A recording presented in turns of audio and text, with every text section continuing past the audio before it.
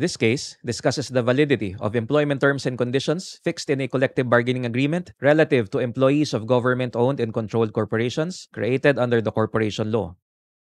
Clark Development Corporation versus Association of CDC Supervisory Personnel Union. On March 20, 2012, the Clark Development Corporation, the operating arm of the Bases Conversion Development Authority, tasked to manage the Clark Special Economic Zone, executed a renegotiated collective bargaining agreement with its supervisory employees union.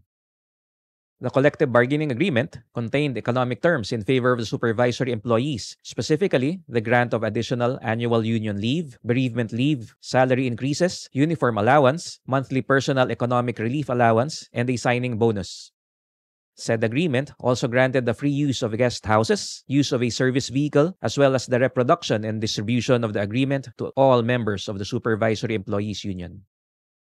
However, the Governance Commission for Government Owned and Controlled Corporations, or the Governance Commission, opined that the collective bargaining agreement violated Section 9 of Executive Order No. 7, which was signed by the Philippine President on September 8, 2010.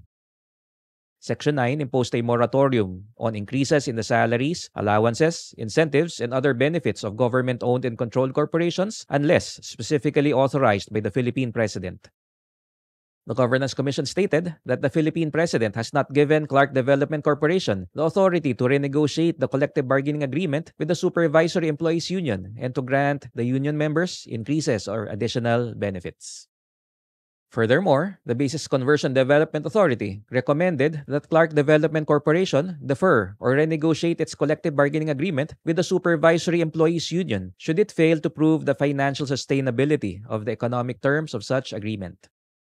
On August 1, 2012, the Supervisory Employees Union had filed before the National Conciliation and Mediation Board a complaint against Clark Development Corporation for its failure to implement the collective bargaining agreement.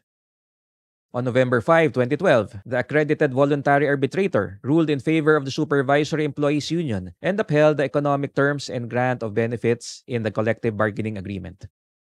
According to the accredited voluntary arbitrator, Section 10 of Executive Order No. 7, Series of 2010, suspended the grant of allowances, bonuses, incentives, and other perks to members of the boards of directors or trustees of government owned and controlled corporations, but only until December 31, 2010. The accredited voluntary arbitrator also held that the approval of the Philippine President in the grant of additional benefits was presumed under the rule on liberal construction in favor of labor under Article 4 of the Labor Code of the Philippines. Aggrieved, Clark Development Corporation elevated the case to the Court of Appeals through a petition for review. On April 8, 2013, the Court of Appeals affirmed the accredited voluntary arbitrator's findings the Court of Appeals explained that Executive Order No. 7, Series of 2010, does not apply to Clark Development Corporation as well as to the Supervisory Employees Union. The Court of Appeals added that the Philippine President's approval of the grant of additional benefits was presumed in line with the principle that all doubts should be resolved in favor of labor. Clark Development Corporation filed its petition for review on certiorari before the Supreme Court and asserted that the Court of Appeals and the accredited voluntary arbitrator erred in allowing the grant of additional benefits to the Supervisory Employees Union. Clark Development Corporation asserted the following 1. The economic terms of the collective bargaining agreement were invalid and cannot be enforced because these were renegotiated without the approval of the Philippine President 2. The GOCC Governance Act of 2011 gave the Philippine President the authority to fix the government-owned and controlled corporations compensation framework. And 3. Corollarily, approval of additional benefits by the Philippine President cannot be presumed. By contrast, the Supervisory Employees Union contended that 1. The collective bargaining agreement was the law between the parties and must be respected. 2. The collective bargaining agreement was renegotiated consistent with the employees' rights to self-organization and collective bargaining. 3. Executive Order No. 7, Series of 2010, was not applicable to government-owned and controlled corporations without original charter. And 4. The GOCC Governance Act of 2011 recognized the vested rights of government employees to their salaries. In the meantime, the Governance Commission moved to intervene in the proceedings and argued that 1. The collective bargaining agreement contravened Executive Order No. 7, Series of 2010, and the GOCC Governance Act of 2011. 2. The moratorium on the grant of additional benefits remained effective pending the promulgation and approval of the compensation and position classification system for government owned and controlled corporations. And three, in any event, there were no factual and legal basis to presume the consent of the Philippine President on the collective bargaining agreement's economic provisions. Were the additional benefits granted to the supervisory employees under the collective bargaining agreement valid? The Supreme Court ruled in the negative. The Supreme Court began with a settled rule that the right of government employees to self organization is not as extensive as in the right of private employees. It then mentioned that the right of government employees to collective bargaining and negotiation is subject to limitations, in that only the terms and conditions of government employment not fixed by law can be negotiated.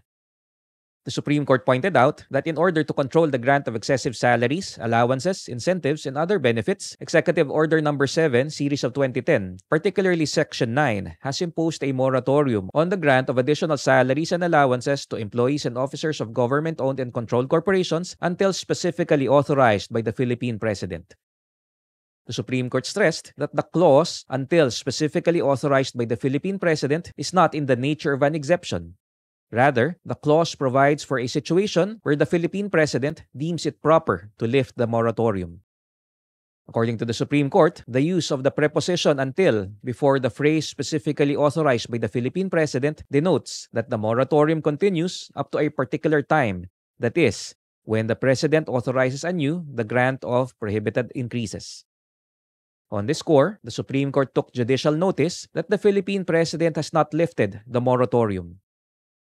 The court thus ruled that the economic terms of the collective bargaining agreement executed by the Clark Development Corporation with its supervisory employees union on March 20, 2012 were void for violating the law. The Supreme Court noted the reliance of the accredited voluntary arbitrator and the Court of Appeals upon Section 10 of Executive Order No. 7, Series of 2010, the Supreme Court, however, pointed out that Section 10 is inapplicable to the Supervisory Employees Union of Clark Development Corporation, as the said section pertains to members of the Board of Directors or Trustees of government owned and controlled corporations. The Supreme Court then declared as erroneous the exclusion by the Court of Appeals of the Clark Development Corporation from the coverage of Executive Number 7 Series of 2010. This was because nothing in the law makes any express distinction between government-owned and controlled corporations with original charter and those incorporated under the Corporation Code. For the Supreme Court, Executive Order No. 7, Series of 2010, applies to all government-owned and controlled corporations regardless of the manner of creation. The Supreme Court added that although the GOCC Governance Act of 2011 authorizes the Governance Commission to develop a compensation and position classification system applicable to all officers and employees of government owned and controlled corporations, such system is subject to approval of the Philippine President. In the present case, the Supreme Court found that the Governance Commission did not give its favorable recommendation on the renegotiation of additional benefits by the Clark Development Corporation and the Supervisory Employees Union. The Supreme Court noted that the Governance Commission even opined that the collective bargaining agreement violated Section 9 of Executive Order No. 7, Series of 2010. The Supreme Court then highlighted that on March 22, 2016, the Philippine President issued Executive Order No. 203, Series of 2016, which disallowed the governing boards of all government-owned and controlled corporations, whether chartered or non-chartered, to negotiate with their officers and employees the economic terms of their collective bargaining agreements. For the Supreme Court, such provision supports the finding that the moratorium under Executive Order No. 7, Series of 2010, has remained effective pending the promulgation and approval of the compensation framework for all government-owned and controlled corporations. The court found no factual and legal basis for the Court of Appeals and the accredited voluntary arbitrator to presume that the Philippine President approved the renegotiated economic provisions of the collective bargaining agreement between Clark Development Corporation and its Supervisory Employees Union. The Supreme Court emphasized that the construction in favor of labor only applies when there are doubts in the interpretation and implementation of the provisions of the Labor Code of the Philippines and its implementing rules and regulations. The Supreme Court stated that the language of Section 9 of Executive Order No. 7, Series of 2010, on the moratorium on increases in rates of salaries and other benefits is unambiguous. Consequently, the Supreme Court emphasized that the law must be interpreted following its plain and obvious meaning and applied according to its express terms. For the Supreme Court, the law requires the Philippine President's consent as to additional benefits, effectively lifting the moratorium, and any presumption of such approval is unwarranted. The Supreme Court concluded that Clark Development Corporation had valid reason not to implement the increases in salaries and benefits as provided in the renegotiated collective bargaining agreement.